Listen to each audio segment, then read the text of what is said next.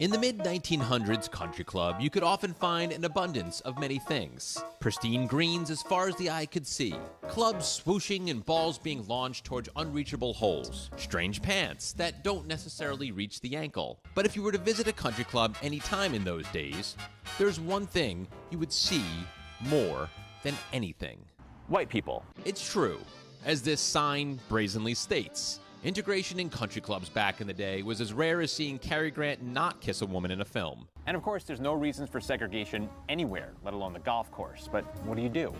You want to play golf, but you're not white. Well, as the old saying goes, you can't join them, create your own country club. It don't mean a thing if You are now on the grounds of Shady Rest Golf and Country Club, a nine hole, 33 acre rolling golf oasis with an incredible history. It's the first black owned golf and country club in the United States. A place where folks could golf, play tennis, or listen to Billie Holiday. Live, in person.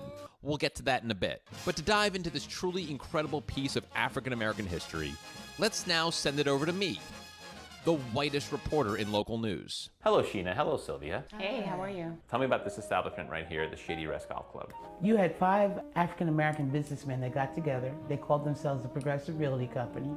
And in 1921, they purchased this from the Westfield Golf Club. And from there is history because, you know, African Americans had no safe place to socialize, play golf, play tennis, a meeting place, a gathering place. And so this became a safe place for them. John Shippen was the first, not only American born, but African American pro golfer. Right. And he lived here. Yes, he did. You kept all his stuff. I mean, that is wild. Is that his actual hat? Yeah, old 50. trophies are A trophy here. clock. These are trophies. This is what you used to get if you went and get a trophy clock. Yeah. Yeah. How come that never happens nowadays? You don't see that anymore. This is my award, and it's 4:30. You have an actual green book. Yeah. The Shady Rest is listed in the Green Book. Uh huh. my I God. purchased that off of eBay too. She was the resident cook at that time. She was the, the, the main chef here at the country club. Yeah, She yeah. looks fancy. Fried chicken and waffles. That is Miss Fanny Charleston. She was a socialite. You know how I knew that? Ah. Her name's Fanny. Fanny. These were scrutinizing people because this was a, a club for the upper crust. Little bougie. And that's exactly what I call them. This is something that blows my mind. This is up here. You you like music. you This like good music. All these people perform here. Yeah. Is that correct? And more, and more. And more. So you have Louis Armstrong, Count Basie, Ella played Ella here. Fitzgerald. Billie Holiday played here. There's definitely. and uh, Sarah Vaughan played here. Oh my gosh. This is the floor that someone like Billie Holiday or Ella Fitzgerald performed on. And their bandstand yeah. be sitting right in front here. Excuse me for one second. I know. That's the first, right? You know what? You can hear it still. The beauty thing about the Shady Rest because people that worked at the Cotton Club, they worked at the Savoy, they couldn't sit down and relax there. They weren't allowed to do that. Yeah. So they had to, when they finished work, they would truck from Harlem and come here, socialize, have a good time. Is this place haunted and is it by Billie Holiday? Can I sleep over if it is? You know, I, I wish I could say that. Yeah. You know, but no, That's nothing. good. That's good. But to visit Shady Rest and not play golf would be a truly missed opportunity. So I hopped into this motley crew. Happy to have you. Are you? Happy Yes, to have you, yes. man. Happy to have you. You haven't seen me play yet. How about you? I'm a pretty bad golfer. Okay, good. You guys are father daughter right here. Yes, yes. So I've been playing since I was seven. Who's better? Me. She's Really? And you're not even arguing this. No, I'm not. Charles, are you ready? I'm ready like Freddie. Ready like Freddie. I'm not like smart.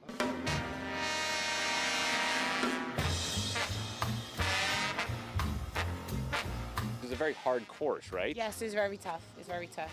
You gotta play it short. We How many want- balls have been hitting the street right there? Well, they can tell you. You know why I like you? What? We're the same size legs.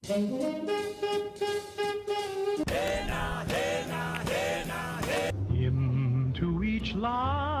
The good thing is we had no problem following that ball. With a five wood. That's what I recommend. I think an iron because he was pretty strong. Yeah, take the five. wood. You say what? Said a wood. You think wood. I'm good with my wood. I don't want. All right. If I get a hole in one, we all have to streak the entire golf course, especially Sylvia. Sylvia, I don't care about your sciatica. We're going butt naked and we're running up and down. Make sure you got that butt in the air.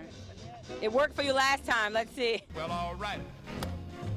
Oh, Oh, oh, jeez. I'm just redecorating at Strong this point. ten. Dirt went farther than the ball It went. did. When I'm taking sips from your tasty You're not supposed to make noises when they go, right? No, I always make noise because they make noise when I go. I won't make noises. nose. Honeysuckle Use the Mac Daddy. The Mac Daddy 4 likes to grind. Oh, gee whiz. Oh, okay, yeah. You know what the sad part is? That was farther than my drive.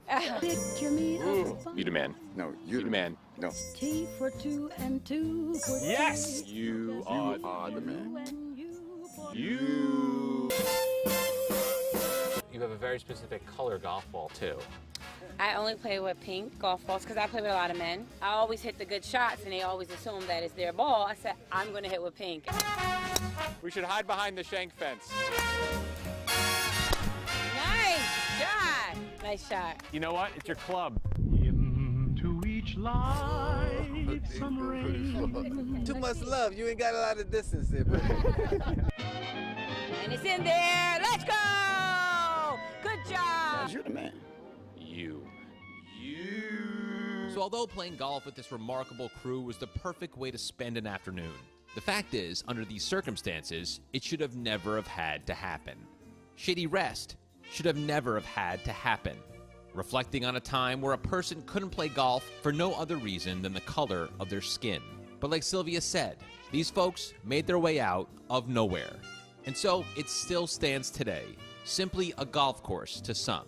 But for others, a symbol of what was, how far we've come, and how much more we still have to do. Yes, Basin Street